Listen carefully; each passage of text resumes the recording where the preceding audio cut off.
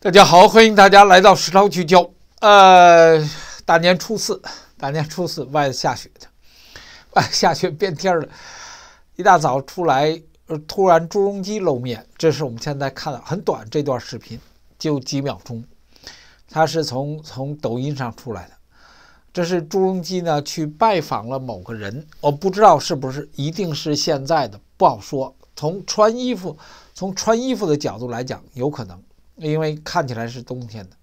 那后面但是是给人拜寿去了。做那个人呢是谁不知道，在我在推特上有很好几个人问说做的那个人是谁不知道，那是不是朱镕基的老师，或者说起码在朱镕基朱镕基的角度来讲，呃是他感激的人，或者是他辈分的超过他辈分的人，那这就这是一个故事了，因为。呃，如何解读？如何解读这故事，就是另外一回事了。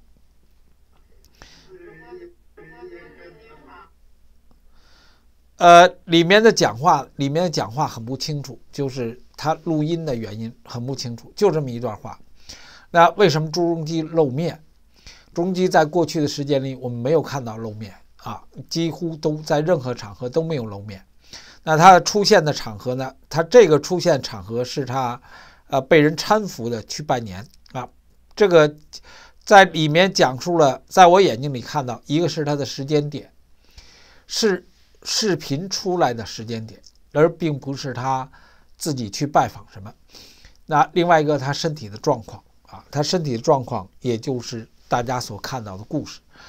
呃，那发帖的人呢，骂他，就是是现在丑陋的一切，就是中共国丑陋的一切。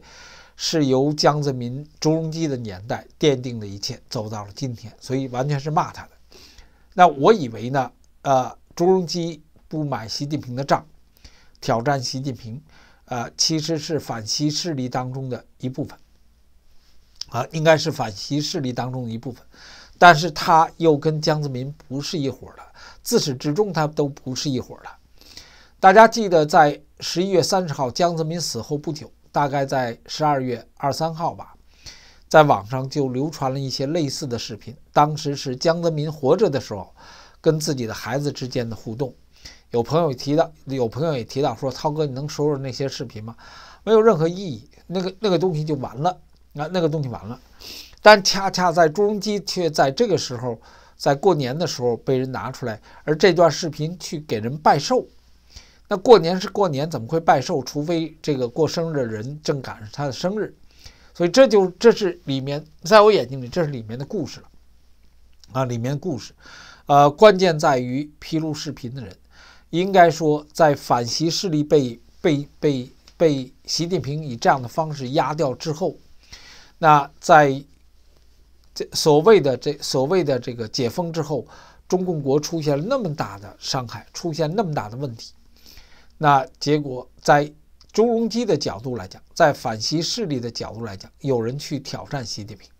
在这里，我提醒大家哈，他们的年龄都很大了，他们的年龄本该是死去的年龄，是经不住这样疫情袭击的。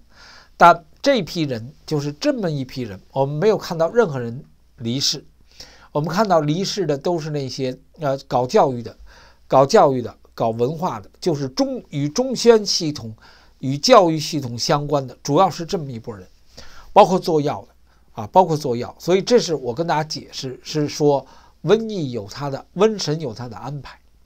啊，有它的明确的故事。那在现在疫情传染这么厉害的时候，朱镕基敢去拜访到别的人家里面，他们都属于高危年龄的，他为什么敢去？啊，他为什么敢去？所以这些都可以留下故事。而在而在所有现场的人，没有任何人戴口罩的，没有，所以这是一个值得，这是一个值得疑问的。所以，我也可能根本不是现在的内容，啊，有可能是更早的内容，以前的内容。那故意放视频的人拿出来去，所以我说反袭的势力的一种表达，但这种表达没有没有用，因为朱镕基一直是一个呃特立独行的人。他没有势力，他自己没有势力，他不是一个，他只是表现他自己的。那如果你说朱镕基还在，你拿刀把习近平杀了，那你就去杀去。那你说他仰仗整个背景的势力没有什么，那这就我想表达意思就是说，太多人对习近平不满，但是呢没有任何办法，所以这就是习近平最大的本事。习近平可以让中共体制当中所有的人都不满，但是他可以把共产党装在兜里头，而所有的人拿他又没办法。这就是习近平最大的本事，所以朱镕基的露面透显出习近平最大的本事和天灭中共的过程，真真正正天灭中共的过程这种故事，偏偏很多朋友们呢，呃，我我以为很多朋友们反映的故事呢，老是在呃老是在这种啊你来我往你杀我打的这种场面上去讨论是跟不是。呃，中共重重症医学专家钟明说自己阳了，这是个蛮有趣的啊，这是这是个蛮有趣的。二十四号，昨天，钟明在自己圈里写说，二零二零年一月二十三号出发去武汉，二零二三年一月二十三号两根杠阳了，正好三年有始有终，他自己阳了，而他自己是干嘛的呢？这个人干嘛的？是中共。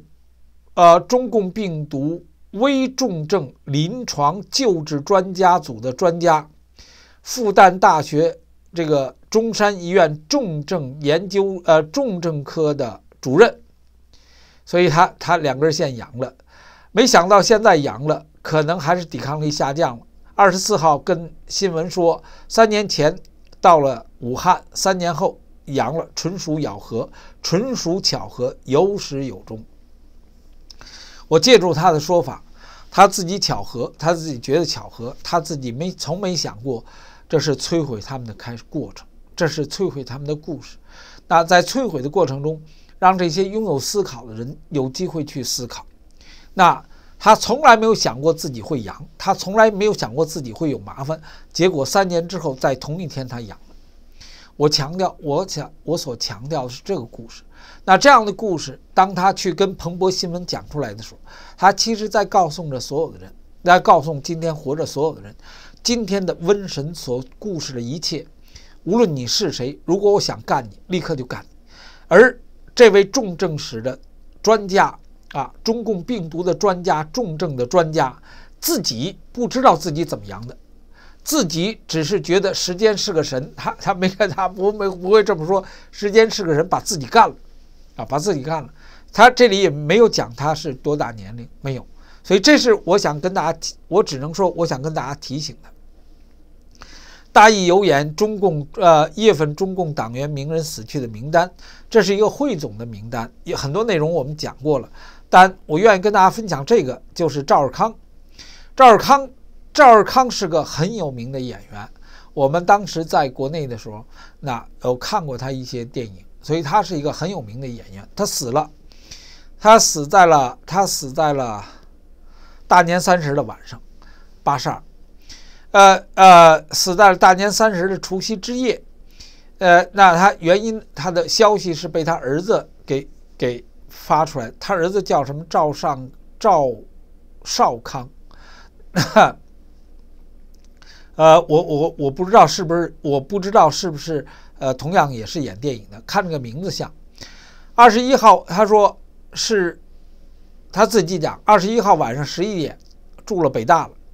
去抢救无效，然后就死了。丧事定在二十五号八宝山送别，那丧事从简，这是他儿子拿出来的消息。那赵尔康，我们知道前面刚刚跟大家说了几个叫平的，死了一个导演，也是北京的，呃，那五十五岁突然就死了，那是正月。初二，他是大年三十，